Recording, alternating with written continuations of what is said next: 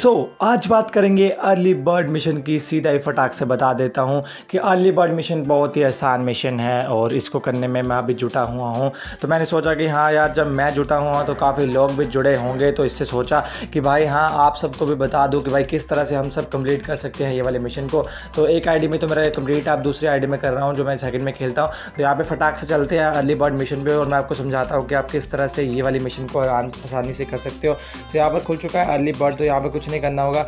हमें C S rank mode में मतलब सी एस रैंक लगा के हमें जो है एलिमिनेट करने होंगे थर्टी एट्टी और हंड्रेड टाइम्स एलिमिनेट करने होंगे। और हाँ एलिमिनेट ऐसे करने होंगे कि हमें सबसे पहले जैसे चार चार बंदे होते हैं, चार यहाँ पे, चार वहाँ पे तो हमें उसमें सबसे पहले सामने वाले बंदे को जाके सभी बंदों में से हमें अकेले को सामने वाले बंदे को मारना होगा। जैसे मैं खेल रहा हूँ सपोज़ करो मैं खेल रहा हूँ तो मेरे को सामने वाले बंदे को मारना होगा सबसे पहले जाके, ताकि उससे पहले कोई मार ना दे। ठीक है? तो यहाँ पर आपको यहाँ पे टाइटल मिल जाएँगे अर्ली बर्ड वाले गोल्ड वाला सिल्वर वाला तो उस फटाक से चलते हैं।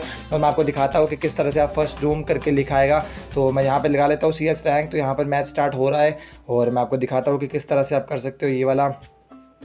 जो मिशन कंप्लीट तो यहाँ पर सीधा ही फटाक से वेट करते हैं मैच शुरू होने का और यहाँ पर मैच शुरू होने वाला है। तो यहाँ पर कोशिश करूँगा कि भाई पहले से पहला किल हो आपको दिखाता हूँ कि किस तरह से ये वाला कंप्लीट हो जाएगा मिशन तो यहाँ पर चलता हूँ, देख लो चार बंदे मेरे साथ के मतलब टीममेट मेरे तीन और हैं और मैं हूँ, मेरे मिला के चार हो गए और सामने भी चार है तो यहाँ पर बंदा एक मेरे को दिख रहा है, यहाँ पर इसको मारता हूँ और फ़र्स्ट डूम हासिल कर लेता हूँ, जिससे मेरा कि जो है ये वाला mission early bird mission complete हो जाएगा।